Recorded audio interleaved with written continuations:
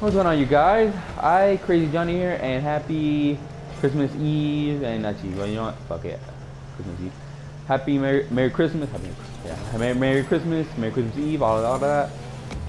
So, this is an update for you guys that Lizard Squad have not yet, Lizard Squad or Phantom Squad has not yet hacked PlayStation or Xbox Live because I am playing online. All my friends are playing online. I think Sony's doing doing uh, fixing their servers because I'm still playing online. I'm playing Rocket League right now, so you see, I'm watching Netflix and all.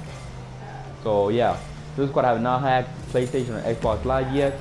I will I will let you guys know when they do because um, I like um I like to inform you guys about what happens to PlayStation Plus, PlayStation Network, PlayStation Plus, um, PlayStation Network.